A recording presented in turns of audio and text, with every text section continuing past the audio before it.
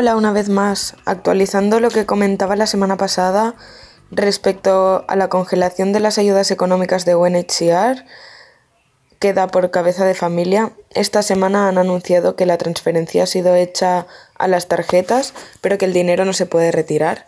Solo se puede pagar con la tarjeta en una de las tiendas de Moria, una tienda para 20.000 personas donde la cola empieza a crearse antes de las 5 de la mañana y dura varias y largas horas. El dinero de las tarjetas de UNHCR que no se retira o no se usa desaparece al final de cada mes. Han confirmado que la construcción de un cajero automático en Moria em, va a empezar y podría estar lista a mediados de mayo, pero igualmente solo un cajero. En cuanto a las personas que ya llevan dos semanas ahora confinadas, entre comillas, en sus lugares de llegada, hay varias personas con urgencias médicas que no están siendo atendidas entre las cuales una mujer embarazada de ocho meses con muchos dolores, una persona con graves infecciones en la piel y una persona con problemas respiratorios. No hay ninguna información clara de cuál va a ser la situación de estas personas ahora que ya han pasado los 14 días reglamentarios. Cada día UNHCR les da una respuesta distinta. Os van a transportar a Atenas, vais a ir a Moria, van a reabrir Stage 2 y podréis ir allí, os acogen en hoteles. En todo caso, nada se mueve y nada está claro. Por otra parte, como habréis oído, imagino, algunos menores han sido trasladados a Alemania y Luxemburgo, 47 menores de los más de 1.200 que están en Moria actualmente. No es una gran victoria teniendo en cuenta que la situación de emergencia por el corona hace un mes que existe y la situación de emergencia en el campo data de años ya. Esperemos que ese sea el número de traslados diarios.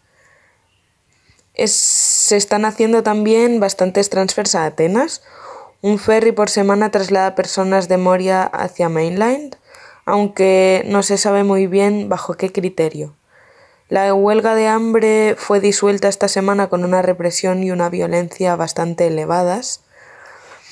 Y por otra parte, desde Wish esta semana hemos hecho un llamado de sororidad para recaudar fondos para seguir con el proyecto y poder cubrir nuevas necesidades que surgen debido a la situación actual. Em, lo que planteamos es fortalecer las redes de apoyo entre mujeres, porque en un momento en el que la mayoría de organizaciones han dejado de trabajar en el campo, nuestro equipo de mujeres refugiadas y activistas nos permite identificar los casos de emergencia.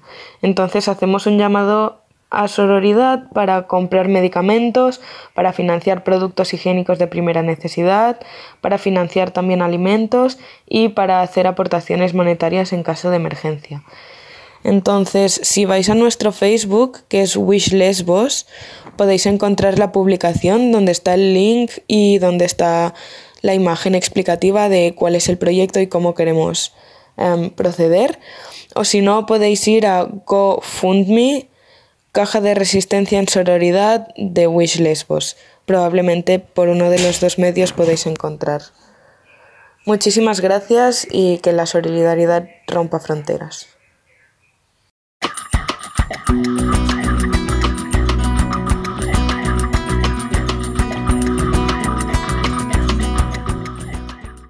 Hola, soy Raquel Merino, voluntaria de la Running Kitchen en Patra, en Grecia, y una semana más os voy a contar cómo está la situación. Eh, cuando los voluntarios llegamos a Patra, hay siempre un comentario que se repite una y otra vez entre nosotros, y es que la situación en terreno está siempre cambiando. Y es súper importante mantenerse flexible por los cambios que pueden venir y por las necesidades de las personas que atendemos aquí.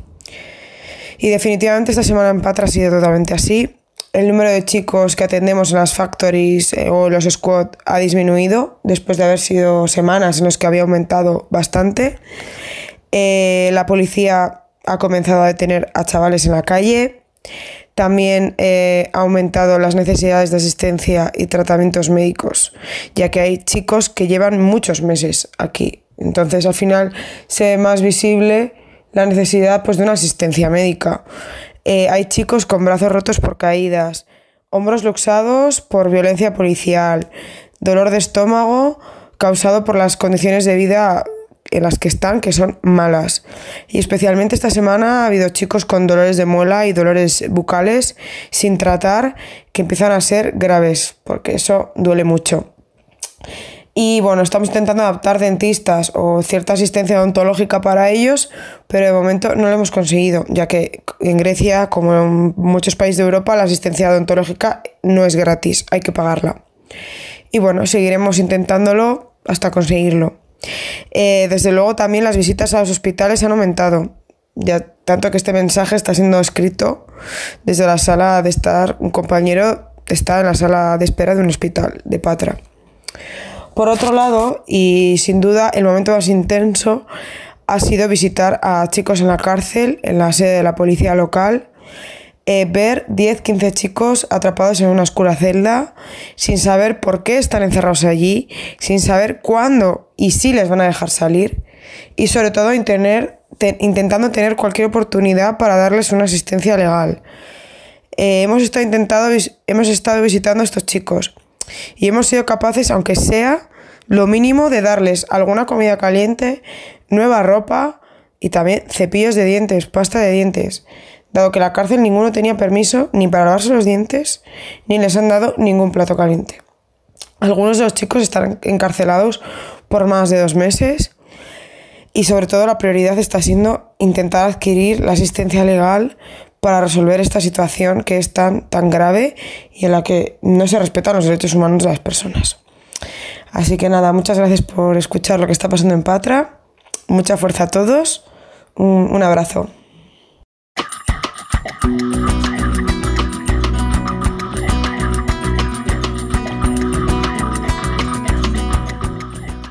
Hola, hola, ¿qué tal? Esa peña de Ensmoven y las personas que nos escucháis. Muchas gracias por estar ahí. Esperemos que estéis bien, al menos mejor que las más de mil personas que están ahora en Bélica Kladusa, en el borde entre Bosnia y Herzegovina y Croacia, en la parte norte del país. Hemos tenido una semana de nuevo con nevadas tremendas. Em, estamos a finales de abril, pero el invierno balcánico es duro y largo. Y todo esto, pues bueno, está repercutiendo mucho en la situación, tanto física como psicológica, de muchas personas que combinan el, eh, la situación de, angustia que conlleva estar medio atrapado en un borde donde no puedes salir sin que te devuelvan a palos, y a su vez todo esto del confinamiento y la emergencia sanitaria por el coronavirus que lógicamente genera una intranquilidad enorme entre personas que saben que la atención eh, sanitaria en los centros de salud públicos de Bosnia no va a ser la mejor, tanto por falta de capacidad y en ocasiones, crucemos los dedos, mm, porque no sea así, pero por posible falta de receptividad hacia personas en situación irregular. Mm, nada, como No Kitchen, continuamos trabajando con la red de voluntarias locales, repartiendo comida, repartiendo ropa, está funcionando bastante bien. Se nota mucho el trabajo hecho durante muchos meses recopilando datos sobre, bueno, desarrollando relaciones con la gente para ver dónde está, teniendo contacto con, cientos y cientos de personas que necesitan ayuda en estos momentos y eso nos está permitiendo pues trabajar en remoto y llegar a, muchas personas que de otra manera pues se quedarían escondidas, desconectadas y nadie podría echar una mano. El otro día, la semana pasada, comentaba el tema de las panaderías, donde hemos empezado a trabajar con un sistema de tickets o de cupones para que la gente pueda ir a recoger comida eh, que previamente ya hemos de alguna manera pagado ¿no? en las panaderías. Esta semana damos un paso más, vamos a intentar empezar con otra panadería más cerca de la zona de, de Miral, donde está el campo o el centro de recepción oficial y vamos también a intentar empezar con supermercados para que la gente pueda acceder a otros productos, no solo a pan y, empanadas, sino también un tema de eh, arroz, tomate, algo de vegetales, algo fresco y sobre todo temas de higiene, ¿no? Eh, artículos como jabón y demás que es tan necesario en estos momentos. También hemos eh, empezado con la distribución de mascarillas, hemos comprado 500 a nivel local y ahora nos llegará una donación desde Alemania de otras 500 intentando pues bueno minimizar en parte las opciones de contagio y, y demás del virus que puede tener unas consecuencias desastrosas ¿no? en una comunidad migrante tan, tan confinada, con tan poco espacio, con tan poco acceso a, agua y, además recursos para, prevenir el contagio. Nada, no doy más la chapa. Un abrazo enorme y nos escuchamos la semana que viene. Chao, chao.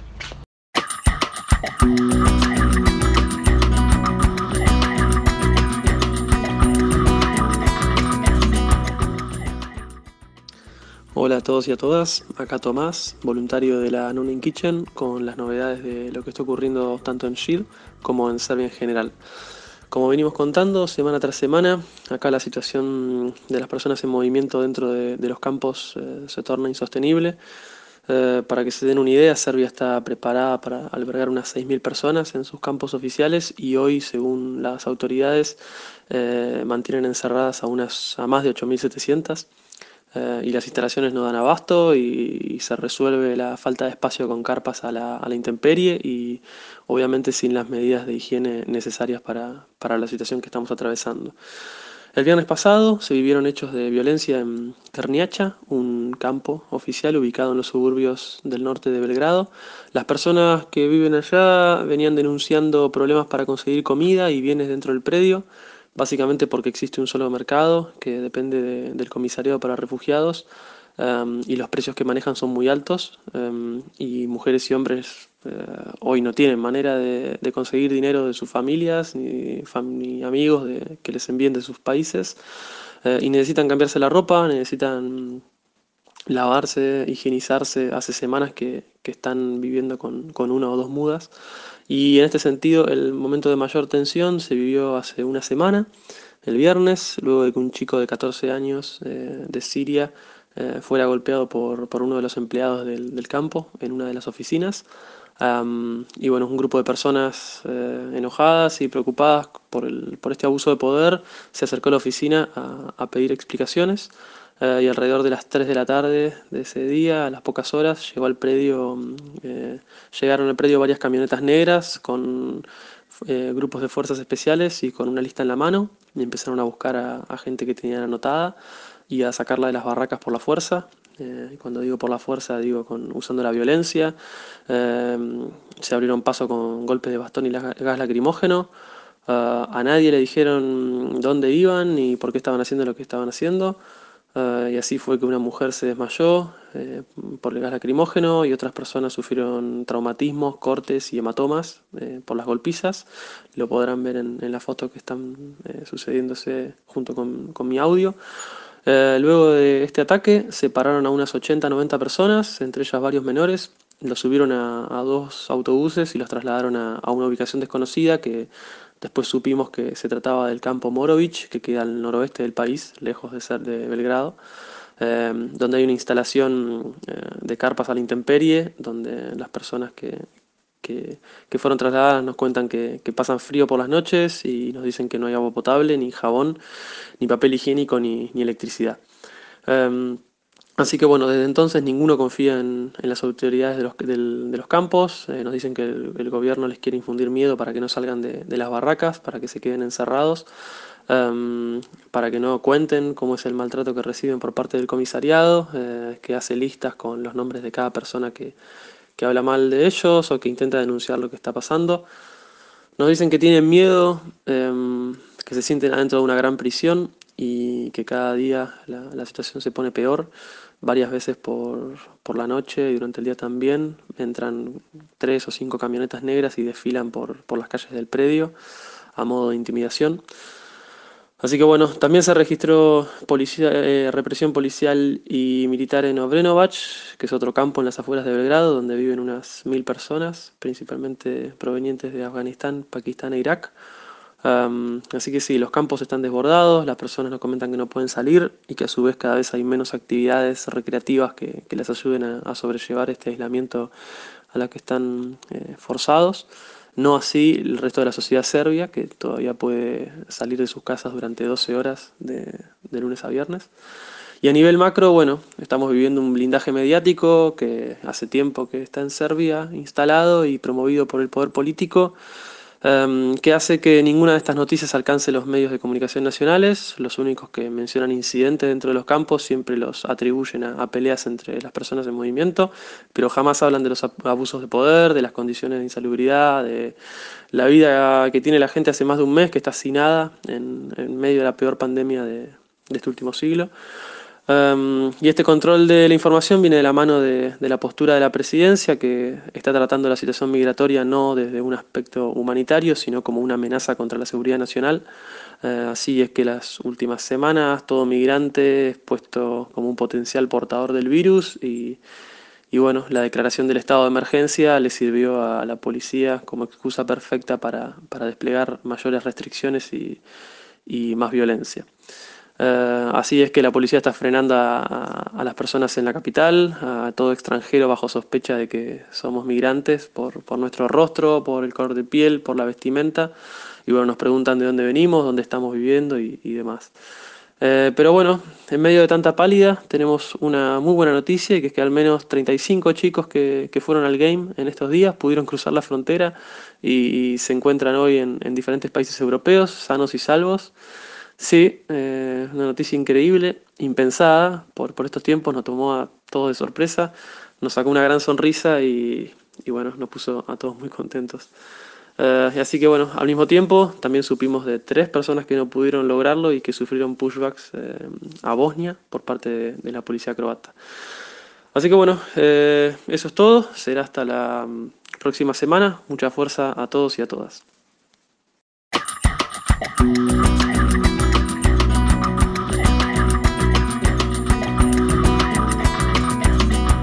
Hola, buenas a todos y todas. Espero que sigáis bien. Aquí desde Tesaloniki, una semana más. Eh, en este audio os voy a contar un poco cómo está la situación aquí en la ciudad y una actualización de lo que está pasando en Turquía, de las noticias que nos llegan desde terreno gracias a las compañeras de Yosur. Por un lado, aquí en Tesaloniki, las compis de Mobile Info Team están registrando que como está pasando en España, por lo que voy leyendo informándome, están multando a personas sin hogar por no tener, por no respetar el confinamiento. Eh, las compis de Mobile Info Team ya han registrado más de 60 personas multadas y evidentemente la alternativa que se da es nula. ¿no? Nos preguntamos que dónde pretenden que pasen el confinamiento. Luego, por otro lado, aquí en Tesaloniki también a principios de abril se ha registrado un pushback que ya estamos trabajando para documentarlo. Recordemos la diferencia entre pushback y deportación. Para la deportación es un proceso que te, se supone es más legal o por lo menos está más amparado legalmente el pushback o devolución en caliente, que es lo que ha pasado esta vez a principios de abril, no hay, no hay ningún registro, es algo, es una práctica que no respeta el principio de non-refoulement y que básicamente lo que hace es impedir que la gente pueda pedir asilo o garantizar un proceso medianamente legítimo. Entonces, bien, a principios de abril Sabemos que en el campo de Yavata, aquí cerca de Tesaloniki, se acercó la policía a preguntar a la gente que estaba fuera del campo que, a ver quién no tenía papeles, para diciéndoles que les iban a hacer el proceso, o sea, que les iban a, a empezar el iniciar el proceso, etcétera, etcétera. Nada más lejos de la realidad, eh, lo que pasó a continuación es que un grupo de entre 25 o 30 personas que no estaban registrados, no necesariamente que habrían llegado en marzo, pero también igual en febrero y todavía no tenían la, la cartilla, que se dice aquí en Grecia como la, la carta blanca. Em, pues bueno, les llevaron a la estación de policía de Tesaloniki y desde ahí, en coches por grupos, fueron hasta Alexandrópolis, que es una ciudad que está a escasos kilómetros de la frontera con Turquía y una vez que estuvieron en Alexandrópolis, la policía les metió en pequeños barcos, pequeñas embarcaciones, les dejaron en el río Ebros y les mandaron volver a cruzar a Turquía sin ningún tipo de registro, sin ninguna garantía de proceso, como os digo. Si os acordáis, hace un par de semanas os hablé de, mm, de la situación en Turquía y los cruces que desde Turquía se habían hecho hacia Grecia, tanto por el continente, por la región del Ebro, como por las islas del Egeo creo que me quedé en, que las, a las personas que quedaban en Edirne, que es la ciudad cerca de la frontera con Grecia, donde se formó el campamento informal, se las llevaron a pasar la cuarentena a campos extendidos a lo largo y ancho del país turco. Bien, pues el viernes 10 de abril empezaron a llegar muchas personas a Izmir, que es una ciudad en la costa oeste de Turquía, desde donde salen muchas embarcaciones hacia el Egeo, empezaron a llegar grupos de 250 personas sucesivamente, desde el viernes a lo largo del sábado, también incluso el domingo. Llegaban desde los campos donde, previamente se había mandado a estas personas a pasar la cuarentena, desde Usmanille, incluso que está casi en la frontera con Siria, Bursa y otros, y otros campos de Turquía a las personas que iban en estos autobuses se les dio un papel que se supone que es de deportación, pero que hay muchas dudas al respecto. Ni los propios abogados turcos que se ha consultado saben muy bien cuál es la validez legal de estos. No se sabe si son papeles que se les da para intentar asustar a las personas y que intenten cruzar o cuál es la finalidad muy bien de esto. ¿no? Está todo un poco en un momento muy confuso para las personas que que están siendo transportadas de un lugar a otro como si importara un pepino, lo que piensan, lo que quieren, a dónde quieren estar.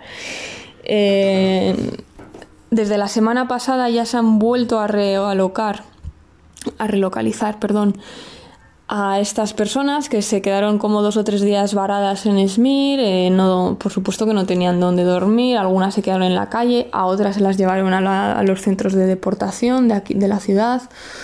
Ha sido todo un poco confuso, la gente no sabe bien a qué viene esto, no les han explicado por supuesto nada, incluso los, los conductores de autobús les estaban animando a que cruzaran cuando ellas estas personas no querían. A todo esto se supone que iban a pasar la cuarentena. No ha habido, por supuesto, lejos de la realidad, medidas convenientes como la distancia social o productos de higiene o máscaras, guantes, etc. Por suerte no ha habido personas con síntomas claros. Estamos hablando de que 3.000 personas están siendo transportadas de un lugar a otro con una finalidad un tanto oscura.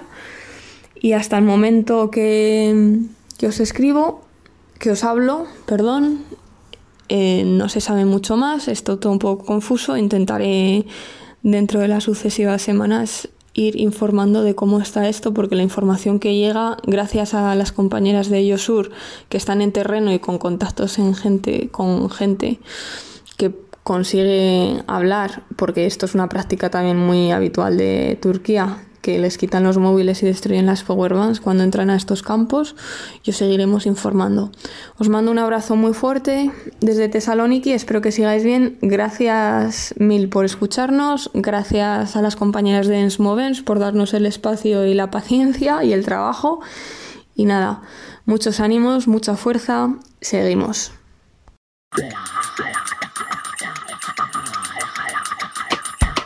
Bye.